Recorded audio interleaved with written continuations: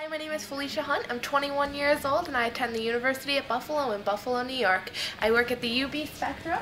I've interviewed tons of bands from Attila to Sum 41 and Cute is What We Aim For.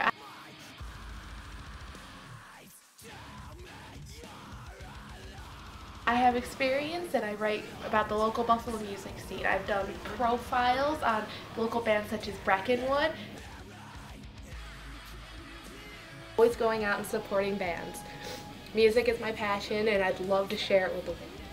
As your pit reporter, I would utilize various methods of social media for fans that didn't go to be able to live through me, and for fans that did go to look back and relive the best day ever, the holiday for the outcast like us.